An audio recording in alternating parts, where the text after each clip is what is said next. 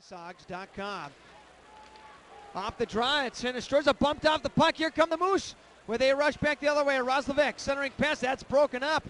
They lead at 1 0. Hogs have had some momentum here. Quick shot, though, from the right circle is fired in for a goal.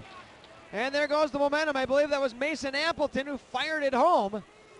Boy, the Ice Hogs had some great pressure back in the Manitoba side. And off that face-off, Hinostroza got bumped down and back the other way there. Crossed it into the slot, hacked off his stick. High shots for Rockford 46 during their home opener. Here come the Moose, two on one. Shot in front, and that one's fired in for a goal.